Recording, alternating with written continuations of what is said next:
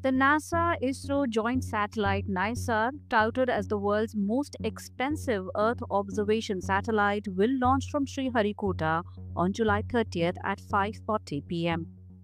Short for NASA ISRO Synthetic Aperture Radar, NISAR will provide crucial data to help policymakers worldwide craft more effective responses to climate change. Synthetic aperture radar is a microwave imaging device which can see through cloud, haze, dust, rain. That means in cameras cannot image under this condition from satellite. You will see the cloud top images.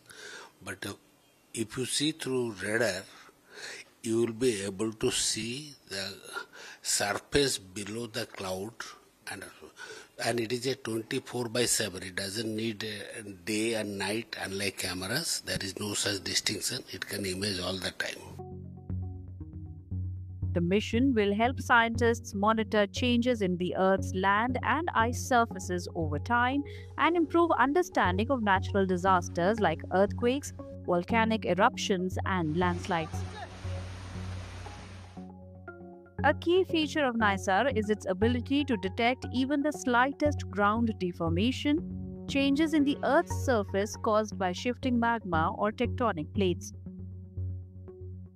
This particular radar has been mission has been defined keeping in mind the requirements of having studied the earth ecosystem as well as land deformation environment as well as cryosphere and various uh, environment studies. Everybody is hopeful that uh, some scientists will find out some techniques uh, to predict earthquake in future using the data from this particular satellite. So it will go a long way in having understanding of the earth ecosystem as well as land deformation studies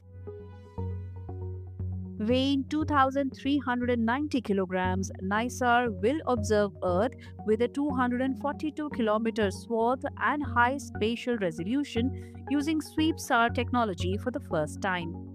It will scan the entire globe every 12 days, delivering all weather, day and night data to support a wide range of applications. SweepSAR is a technique which allows you a wider swath coverage with the very high resolutions.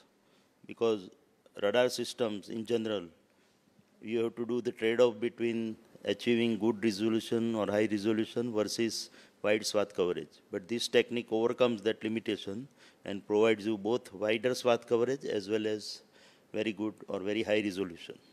So and this is a unique type of technique and both JPL and Space Application Center had developed two independent radars. One L-band has been developed by JPL and another S-band frequency SAR which has been developed by Space Application Center, ISRO Ahmedabad. The NISAR launch marks a milestone in technical cooperation between NASA and ISRO, who signed a partnership to jointly develop and launch the satellite nearly a decade ago on September 30, 2014.